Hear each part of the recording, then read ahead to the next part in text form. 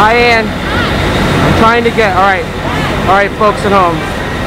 So I don't have to spend a lot of time doing titles. Matt Semeraro, Ann Phillips, Randy Cabral,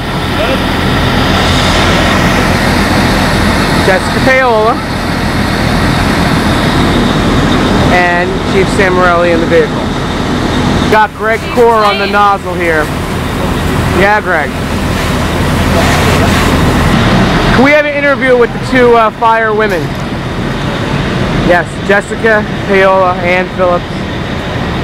And they're doing, I guess, a, uh, a safety check.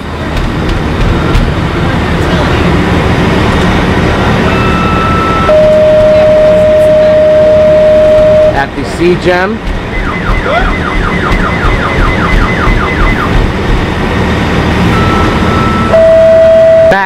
Take us for a behind the scenes look.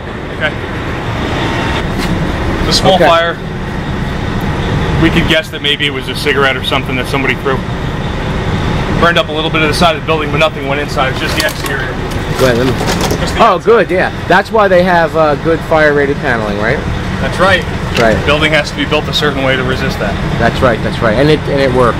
Yes, it did, and we're done. Okay, beautiful. Thank you.